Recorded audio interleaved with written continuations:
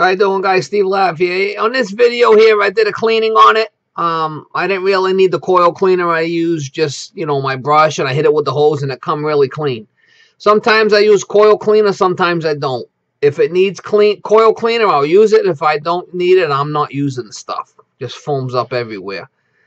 But anyway, um, you know, at the end of the video, you'll see, you know, my pressures weren't weren't right. There was something that was screwed up with it, you know. And um, yeah, I went upstairs. I pulled the cover off the unit, and uh, the TXV was just floating there in the air. wasn't even wasn't even tied down. So I put the black strap uh, straps on it temporarily, um, till I can get you know the copper strap. And I, I did put some covering on it, but I am going to get the copper strap and go back and I am going to get a blue pleated filter for the first floor and run that one. Um, and put some covering on the sensor bulb of the TXV because uh, my superheat was like 25, 30 on the first floor unit. I did run it. It was it was it was fucked up, you know. Um, but he was running those $25 uh, pleated filters. And this system is just undersized on the returns, you know. Everybody thinks of the them pleated filters are the greatest. They're gonna block all the dog hair. You can't run them if your system's undersized with the returns. You gotta run the blue filters. Uh, my, I know what my way. The returns are a flipping joke, and everybody thinks, oh, these pleated filters are the best. They suck. You can't run them if unless your system designed um, for them. If your system has enough returns and you know you have enough um, return filter grills that big enough to cover those uh, those white pleated filters. Yeah, you can run them, but not up my way. Forget it. Half half the flipping returns is what I'm looking at all the time. So yeah, you're gonna see my videos. My suction pressure's low all the time. Well, it's the assholes that installed this shit up here. But anyway, um, hopefully you enjoyed the video. And like I said, I'm gonna go back. I just want to. Uh, I'll I'll post it.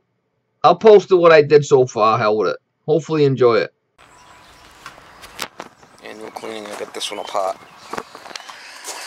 Disconnects off. He's got a mouse problem in here. He keeps keeps putting WD-40 in here. He's gonna put some block them holes off with some kind of electrical putty. I got the cabinet apart. There's some shit in there.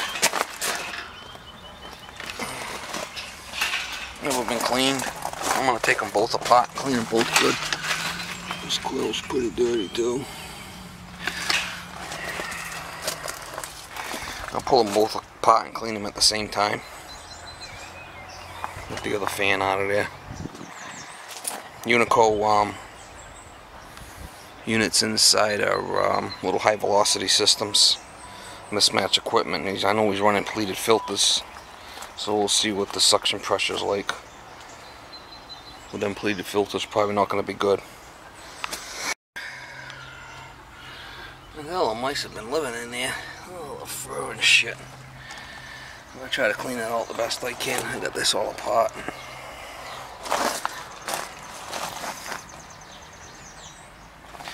Pretty flipping dirty. I'll hit it with my brush. I'll hit it with my, my dry brush first and then the, the holes in the coil cleaner. Clean them up good.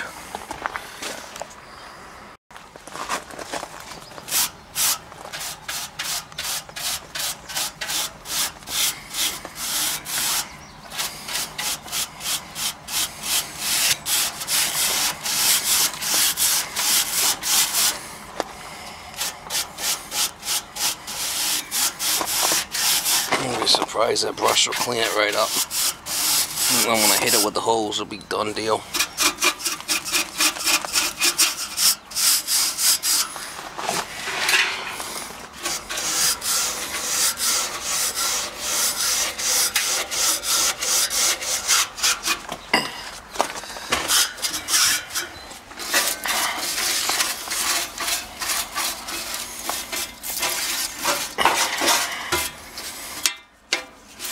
this with the vacuum.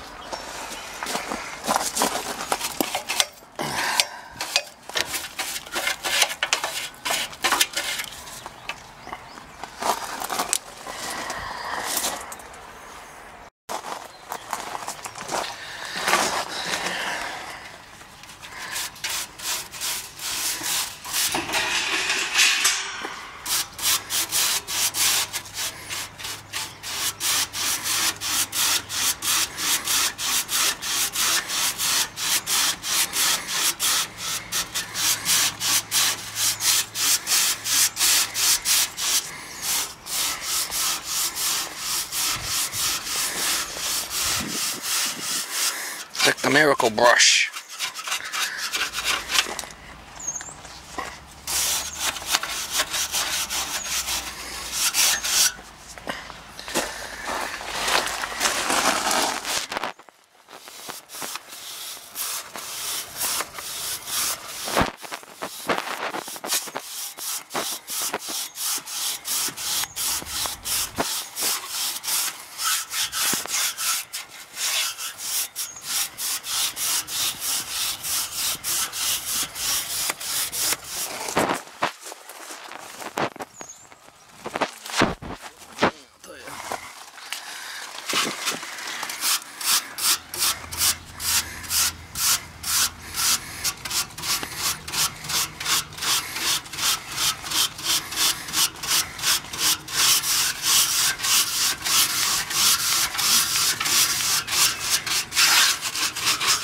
Gotta hit it with the holes, that's for sure.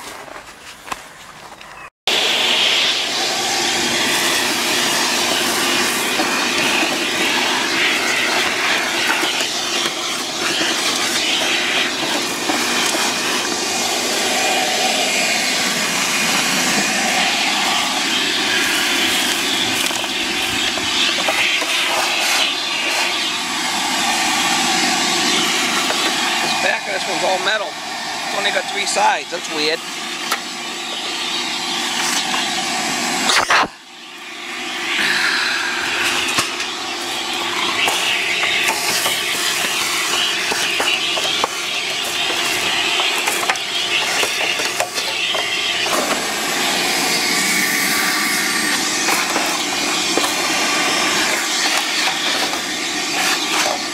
Try to pick up the big stuff before I hit it with the hose coil cleaner.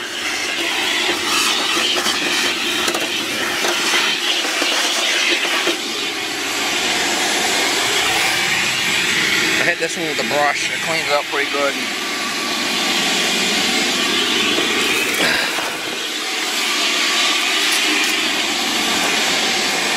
I got the rest with the coil cleaner.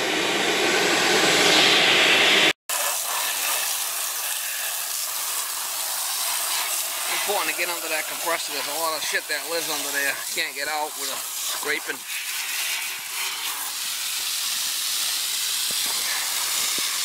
You'd be surprised how clean you can get it just with the flipping hose. This one don't really need coil cleaner.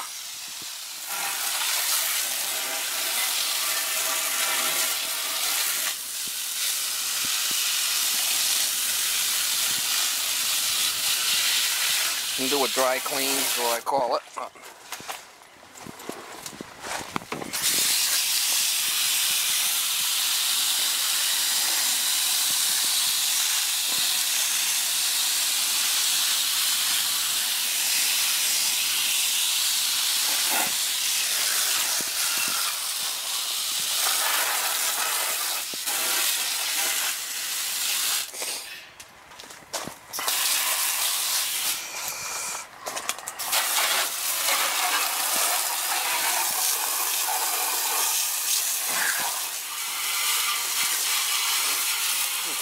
And shit, basically just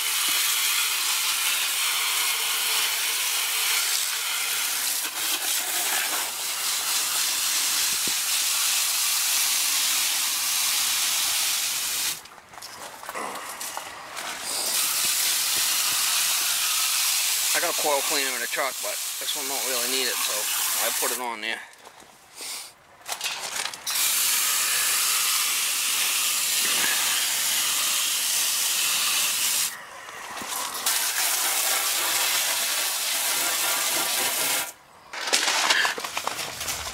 Oh, it's good to just give this a little helping hand. It's all full of oil. He's been spraying flipping oil in here to keep the mice out. You can see it's all oily. That's why it's all, uh, it's like that.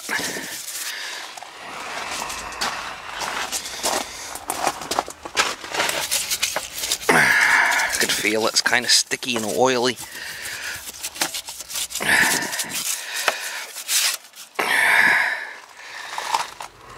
Allen wrench. What's that doing there?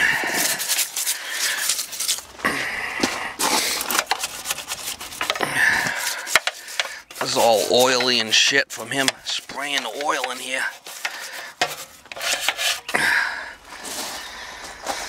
I got in here with my brush, cleaned it the best I could.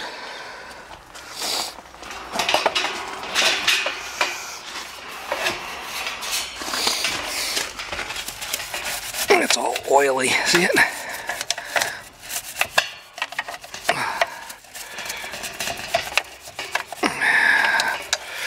I might have to on that.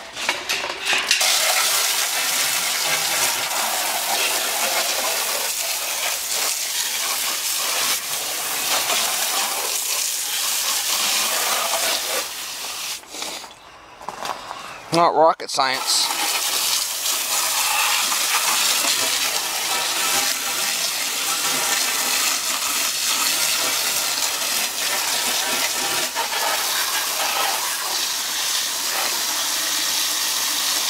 Good enough for this neighborhood. Got them nice and clean.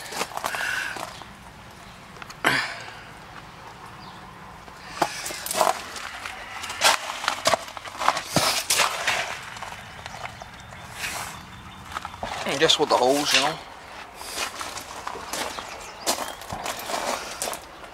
Sometimes you need the coil cleaner, sometimes you don't. And in this particular instance, I'm fine without it. See how the back of this coil is just a metal pan? And probably only like two and a half tons. I gotta check check them, but they're tiny, I think. That's why. That's not bad. I'll get these back together and give you a shot. So he's put a new contactor on there. Let's check the capacitor on this one. Should be a three, 335. And I'm going with a three there. I'm good with the 35.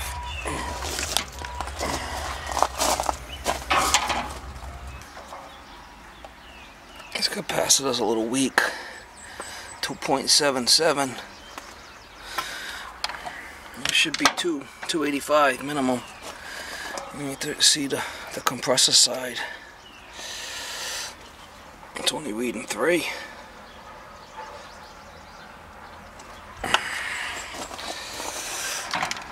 I gotta change that capacitor. We'll check the new one here. 35.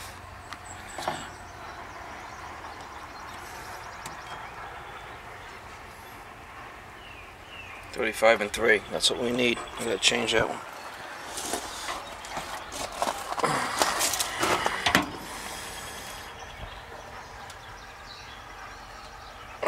Three. 36. This one's good. I'll change that one now. Alright, put some electrical putty in there, cover up them holes. No capacitor. Keep the mice out.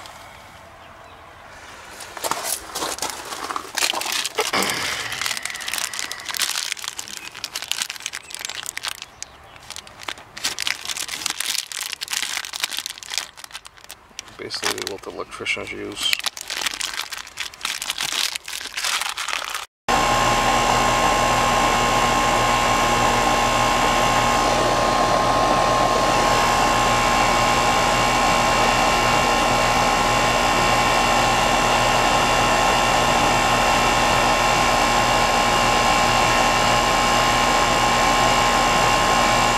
high cool, high charge.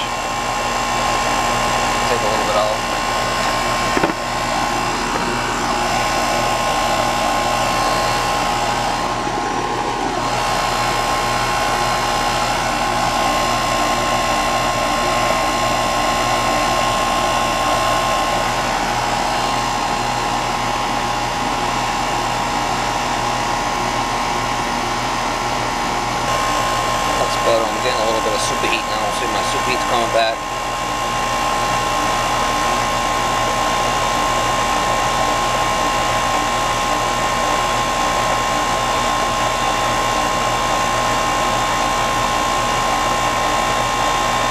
That's a little better. Forehead zero, the superheat was flooding back. overcharged. You can see the compressor was starting to sweat a little bit. Not Good.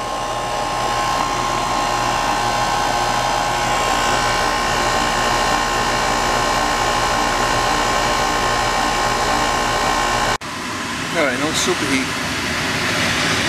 See my thing broke off right there. The thing just floating in the air there.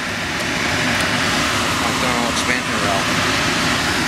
Don't have any of these in the truck. I'll just use some pull ties for now. And I'll have to get some of that, that strap, some of the insulation for it also.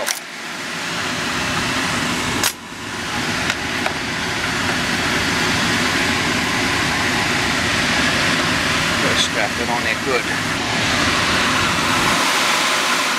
That's it, just temporary. Until I can get back here with another strap. Alright, we'll try it again.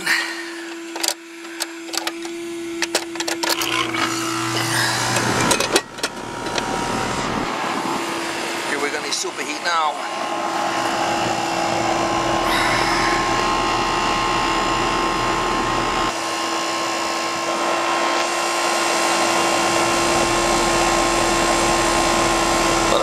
Stabilize.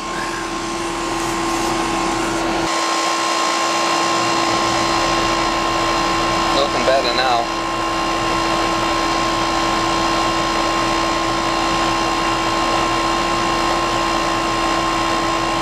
Looking a lot better. That's what it was. That sensing bulb was off the pipe and it wasn't uh, thermal expansion valve. TXV wasn't regulating properly. I'll have to get another one of those copper clamps, come back and clamp it on there.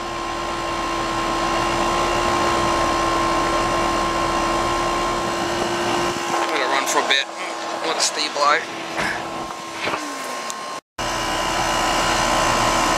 Alright guys, I got it pretty good in my subcool. Know, right around 9 or so. Superheat's fine. Suction line coming back is about 52, that's good.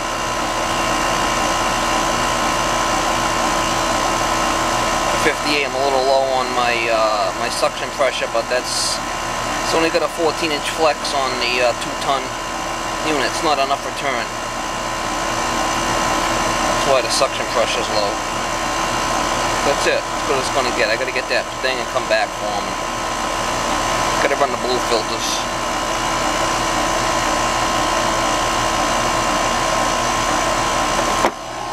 This one here, I want to get a blue filter for it, and then I'll run it, and I'll check this one.